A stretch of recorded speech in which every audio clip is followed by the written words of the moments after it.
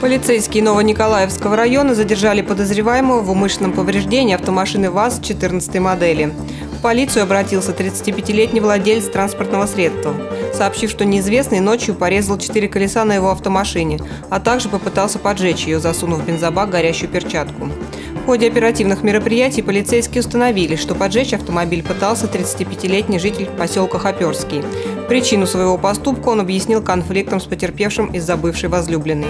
В отношении подозреваемого возбуждено уголовное дело. Сотрудники уголовного розыска задержали жительницу Ставропольского края, причастную к серии телефонных мошенничеств.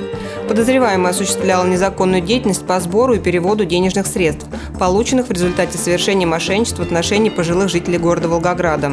Денежные средства, полученные от потерпевших через курьеров под предлогом освобождения от ответственности за якобы совершенные родственниками правонарушения, подозреваемая переводила на счета мошенников. В момент получения очередной денежной суммы подозреваемая была задержана. Подозреваемого в незаконных операциях с наркотиками задержали полицейские в Красноармейском районе.